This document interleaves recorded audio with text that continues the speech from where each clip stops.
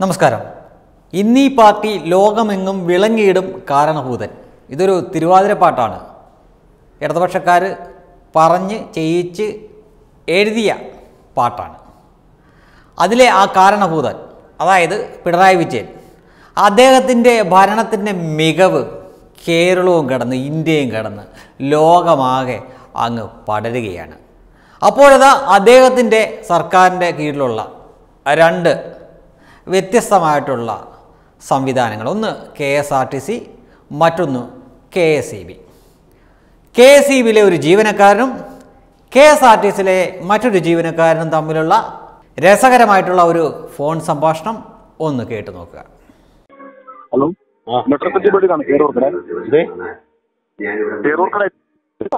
ആ. പറയണം. ഇരുപത്തിമൂന്ന് എഴുന്നൂറ്റി നാല് കൺസ്യൂമർ നമ്പറിൽ ബില്ലടക്കാൻ മൻസൂക്ക് ഞാൻ സാലറി കിട്ടാത്തതാണ് ഉടയ്ക്കാത്തത് സാലറി കിട്ടിയില്ലേ? ഞാൻ കെ എസ് ആർ ടി സിയിലാണ് വർക്ക് ചെയ്തത്. എനിക്ക് സാലറി ഇതിൽ വന്നിട്ടില്ല. അതുകൊണ്ട് ആ ബില്ല് അടയ്ക്കാത്തത് വഴി അടച്ചോണ്ടിരിക്കുകയാണ് സാലറി ഇതിന് വന്നില്ല വന്നോട്ടെ ഞാൻ ഓൺലൈൻ അടയ്ക്കാം വഴി? ഞാൻ ഓൺലൈൻ വഴി അടച്ചോണ്ടിരിക്കുന്നത്. അത് അടക്കണം അത് കാരണം കട്ട് ചെയ്ത് വെക്കാൻ എടുത്ത് തന്നതാണ് ഇന്നലെ വിളിച്ച് പറഞ്ഞതല്ലേ? സാലറി മറ്റേ സാലറി കിട്ടണ്ടേ പക്ഷേ സാലറി കിട്ടിയാലേ പറ്റുള്ളൂ. നമുക്ക് ഇതുവരെയും സാലറി കിട്ടിയില്ല. ഒന്നും കേൾക്കാൻ പറ്റില്ല. എന്തോന്ന്? സാലറി കിട്ടിയില്ല ഞങ്ങൾക്ക് ശമ്പളം കിട്ടിയില്ലേ? സംഭവം ശരിയാണ്. പക്ഷെ നമ്മുടെ ഓഫീസിൽ നിന്ന് പറഞ്ഞാൽ ഞങ്ങൾക്ക് അത് കട്ട് ചെയ്ത് വെച്ചേ പറ്റുള്ളൂ. നിങ്ങൾ പറയുന്നത് കറക്റ്റ് ആണ്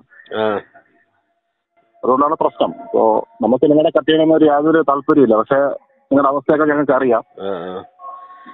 നമുക്ക് അതിന്റെ ഞങ്ങളത് കട്ട് ചെയ്ത് വെക്കാൻ പറഞ്ഞാൽ അതിന്റെ റീഡിംഗ് എടുത്തൊന്ന് കൊടുക്കാനാണ് പറയുന്നത്. ഞാൻ നോക്കട്ടെ. ഇപ്പൊ അടയ്ക്കാൻ പറ്റുമെങ്കിൽ അടയ്ക്കാം. ഞാൻ നിങ്ങളെ വീട്ടിൽ താഴെ നിൽക്കുകയാണ്. ഇപ്പൊ അടയ്ക്കാൻ നിവർത്തിയില്ല കാരണം ഒരു പൈസ ഇല്ല. ആരെങ്കിലും മറിച്ചാലേ പറ്റുള്ളൂ. അപ്പൊ കട്ട് ചെയ്ത് വെക്കട്ടാ? ഓ ദേ. കട്ട് ചെയ്ത് വെക്കട്ടെ അപ്പൊ? കട്ട് ചെയ്ത് വെച്ചാൽ ഞങ്ങൾ ഇരുട്ടതിരിക്കും അല്ലാതെ വേറെ നിവർത്തിയില്ല. അത്രേ ഉള്ളൂ.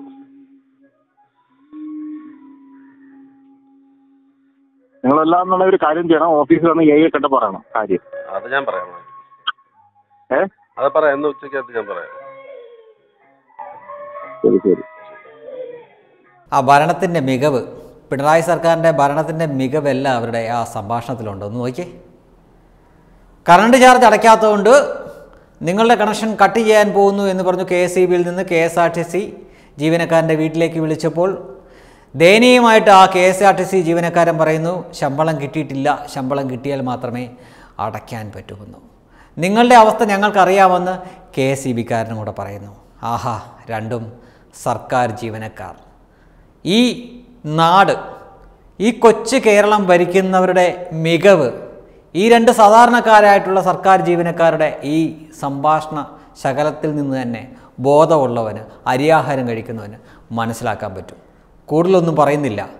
മരിച്ചുപോയ ജോസഫൈൻ ഇതിന് നേരത്തെ തന്നെ ഒരു വാചകം പറഞ്ഞു വെച്ചിട്ടുണ്ട്. എന്നാൽ പിന്നെ അനുഭവിച്ചോട്ടോ. കിറ്റ് വാങ്ങി തിന്നതല്ലേ? Web desk Tatwamayi news.